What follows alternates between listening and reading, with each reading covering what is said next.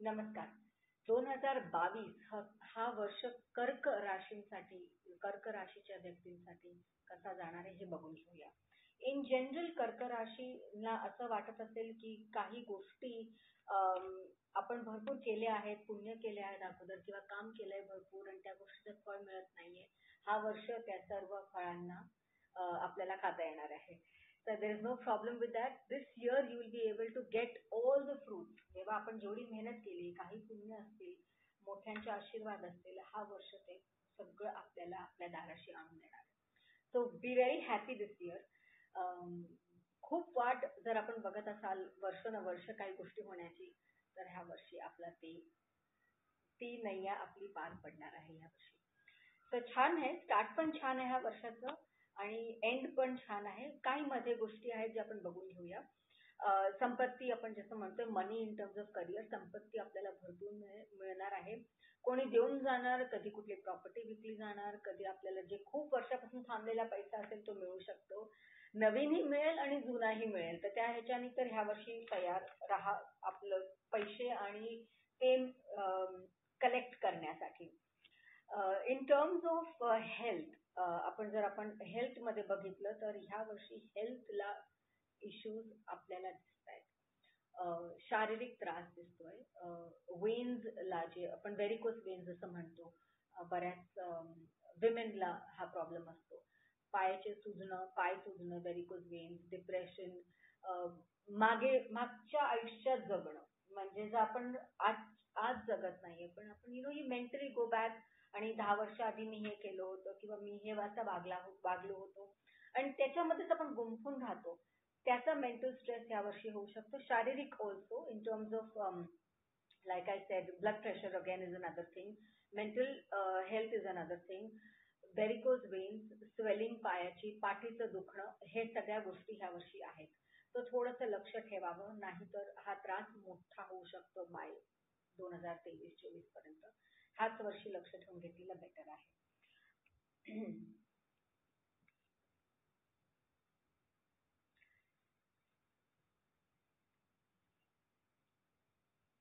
विद्यार्थ्यांसाठी हा वर्ष कसा जाणार आहे? आळशीपणा करू नये. मदत मिळते ती घ्यावी. सक्सेस आहे. पण क्लिअरली असं दिसतंय की आपण मेहनत करायची इच्छा ठेवत नाही. आणि पुढे जाण्याची मान मानसिकरित्या यू हॅव अ गोल आपल्याला वाटतं की आपण भरपूर काहीतरी आयुष्यात करावं. आणि ड्रीम्स खूप मोठ्या आहेत आपले. पण मेहनत करायची इच्छा ठेवत नाहीये या वर्षी. आणि हीच गोष्ट आपल्याला त्रासदायक ठरू शकते. कुठली गोष्टीचं एडिक्शन करून घेऊ नका.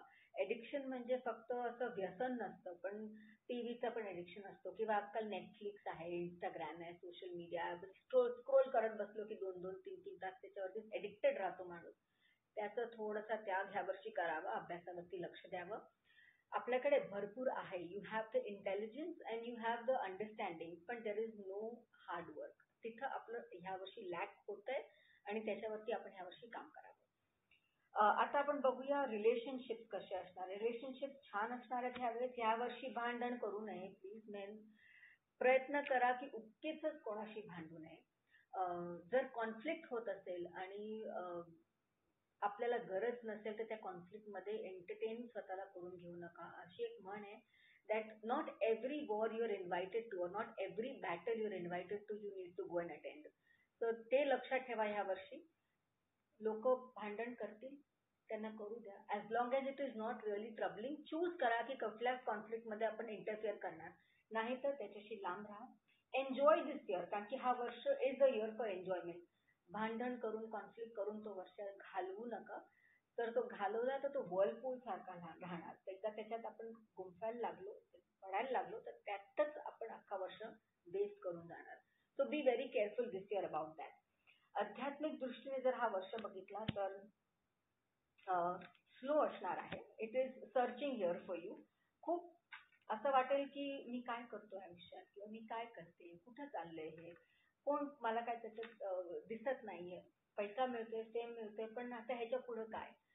जर असा हा प्रश्न येत असाल असेल आपल्या मनात तर थोडस वाचन करावं किंवा एखादं प्रयत्न करा की मेडिटेट करा किंवा ध्यान करा. आणि हे प्रश्नाचे उत्तर स्वतःच लिहून बघा एकदा एका नोटबुकमध्ये मध्ये किंवा डायरीमध्ये मध्ये आणि आपल्याला हळूहळू कळेल की आपले प्रश्न आयुष्याचे स्लोली सुटत जातील. इट्स नॉट ओव्हरनाईट जर्नी पण ह्या वर्षी आपलं अध्यात्मिक जर्नीची छान सुरुवात होऊ शकते. आणि ती सुरुवात सुंदर व्हावी मेंटली पीसफुल व्हावी आणि मेहनत करून व्हावी. एक लक्ष ठेवा की आपण जेव्हा विद्यार्थींबद्दल बोलतो विद्यार्थी हे यंग जनरेशन असतं एज्युकेशन जे आहे पण जर आपण आध्यात्मिकरित्या सुरुवात करणार असाल द ओल्डर जनरेशन असतो, तरी आपण विद्यार्थीच होतो. तर हे थोडस लक्षपूर्वक बघावं. आणि हा वर्ष छान आहे. Make the most use of it. Enjoy the year. And uh, आपला हा वर्ष सर्वांना छान जावा हीच माझी इच्छा.